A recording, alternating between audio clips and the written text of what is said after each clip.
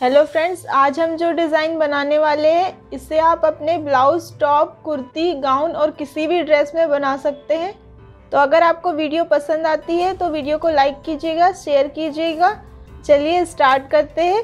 यहाँ हमने फैब्रिक लिया है कॉटन फैब्रिक लिया है, हमने 80 सेंटीमीटर और ये नेट फैब्रिक लिया है। इसे हमने लिया है वन मीटर सबसे पहले हमें कॉटन फैब्रिक की कटिंग करना है।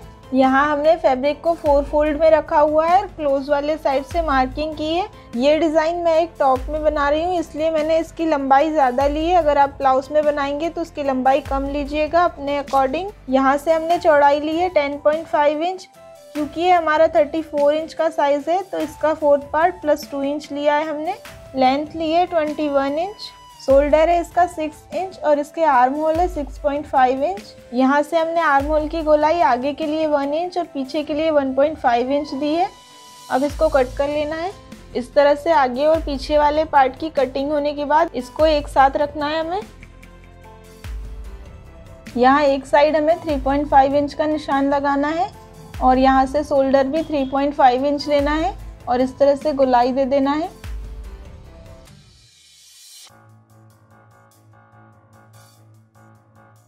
और इसको कट कर लेना है।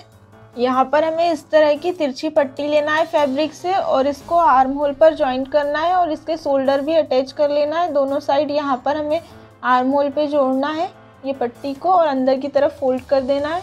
इस तरह से हमने आर्म होल पे पट्टी लगा के अंदर की तरफ़ फोल्ड कर दी है और शोल्डर भी अटैच कर लिए है। अब ये जो हमने गोलाई कट की थी, इसको मेज़र कर लेना है। तो ये आ रही है हमारी 13 इंच तो 13 इंच दूसरी तरफ़ की भी लेकर टोटल हमारी 26 इंच हो जाएगी और यहाँ से हम 6 इंच और इसमें बढ़ा लेंगे तो टोटल हमारा 32 इंच होगा। अब हमें यहाँ पर नेट फैब्रिक लेना है। ये इस तरह से नेट फैब्रिक को भी हमने फोर फोल्ड में रखा हुआ है। तो यहाँ इसे क्लोज वाले साइड से हमें गोलाई देना है एट इंच की।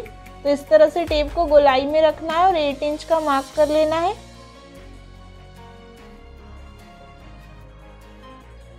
और यहाँ से 14 इंच के मार्क कर लेना है, गोलाई में ही।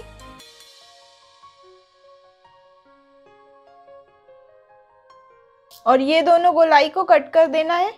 तो यहाँ इस तरह से हमारा ये सर्कल कट हो गया है।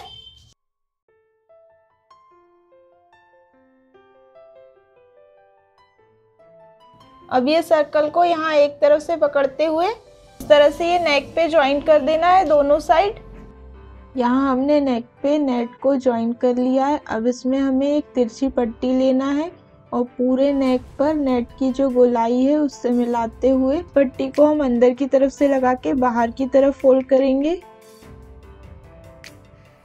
यहाँ नेक पे पट्टी लगा लेने के बाद हमें इस तरह की फैब्रिक की पट्टी चाहिए, जिसको हम इस तरह से फोल्ड करेंगे। इस तरह से चपटी पट्टी सिल लेना है हमें।